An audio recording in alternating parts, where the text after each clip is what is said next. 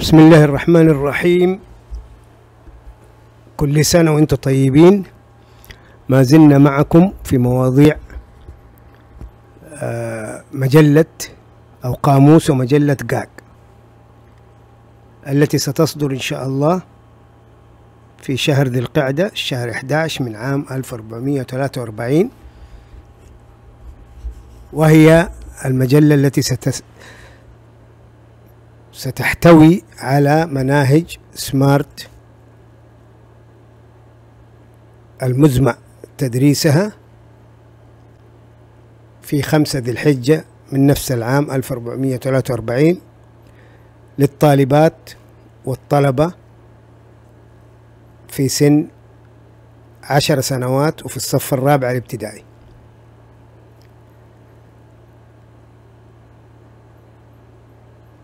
ستكون المناهج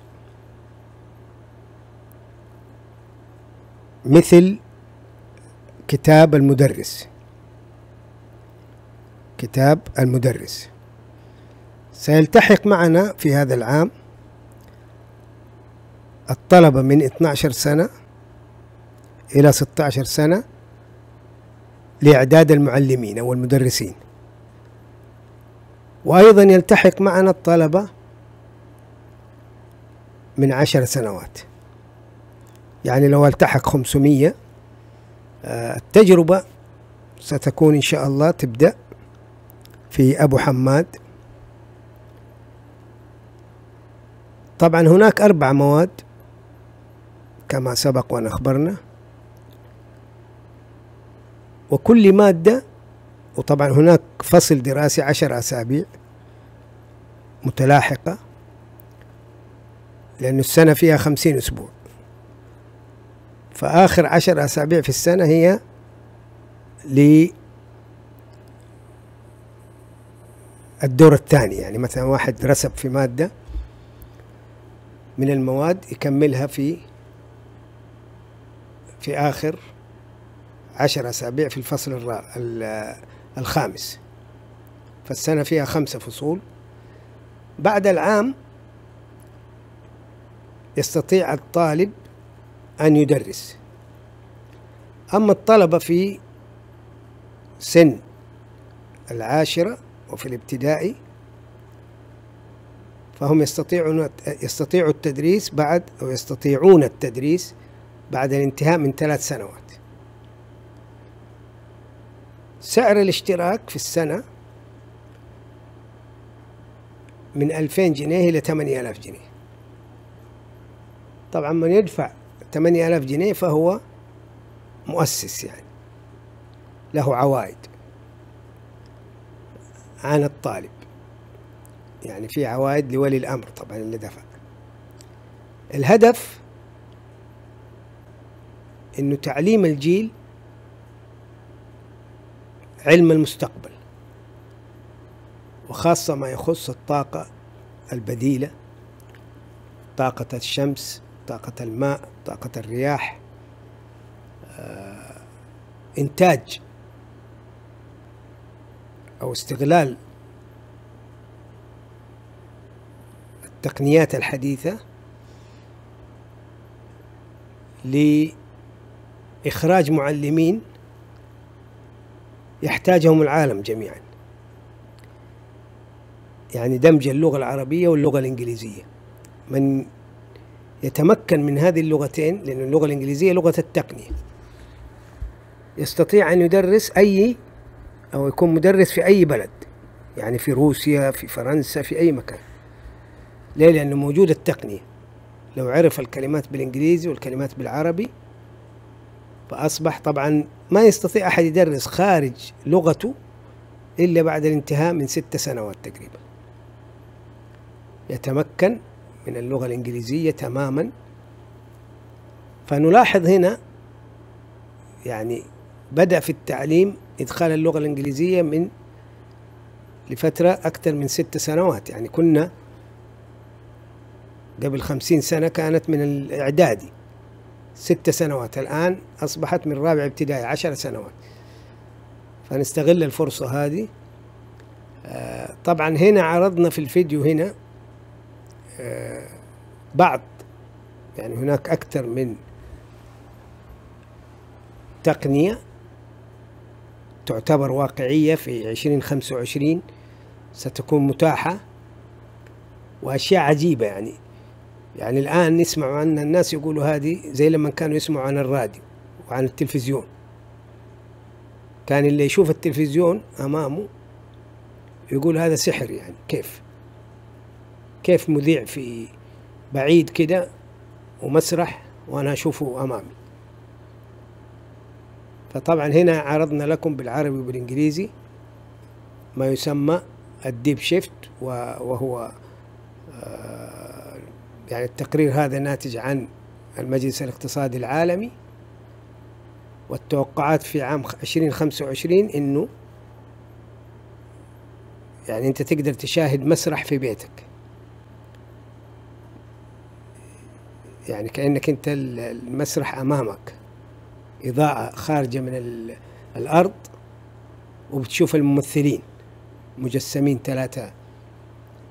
وممكن جوالك تحطه هناك وتشوف تحطه أمامك عند البعيد عنك كده وتشوف الضوء خارج وبتشوف كل شيء في الهواء.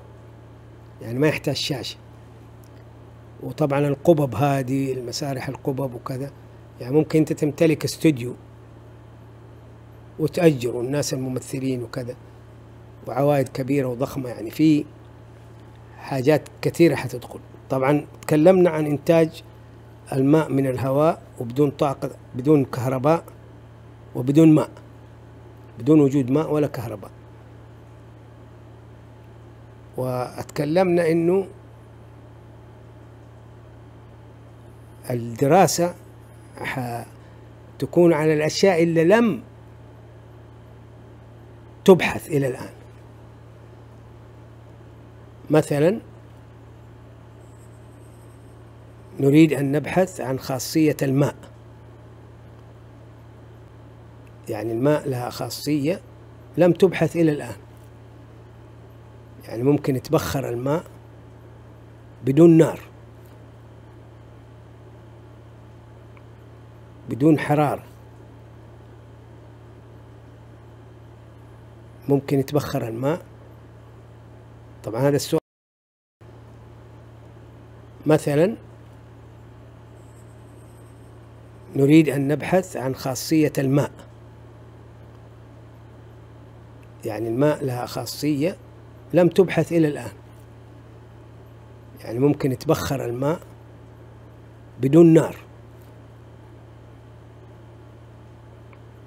بدون حرارة ممكن يتبخر الماء.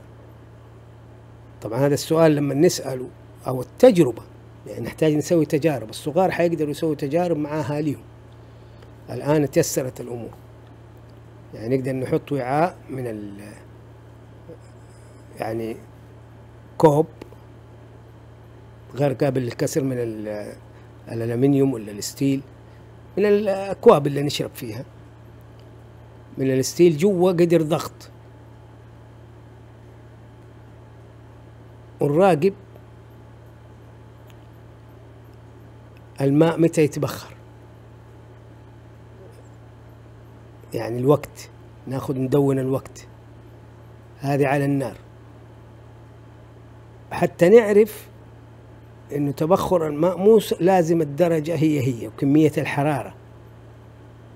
في أشياء كثيرة لازم نعرفها.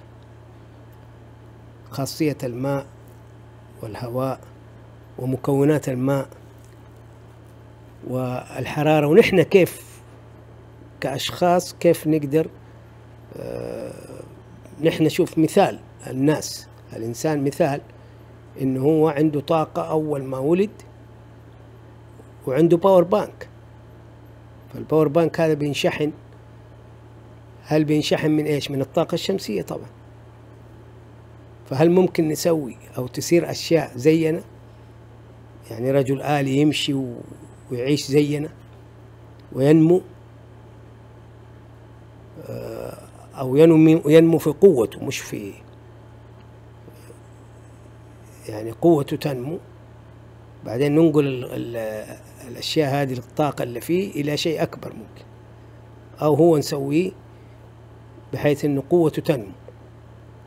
يعني أول ما عملناه يرفع مثلا عشرة كيلو أو يرفع ثلاثة كيلو بيده بعدين ينمو يستطيع يرفع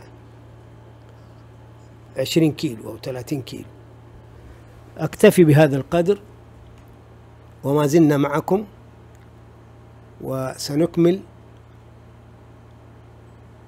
قصة الجمعة وقصص عن مكة المكرمة وقدرة أهل مكة بإنتاج الماء بدون كهرباء ولا حتى طاقة شمسية بدون طاقة. ينتج أهل مكة الماء لملايين من الحجاج. كيف ذلك؟ نتابع معكم. شكرا.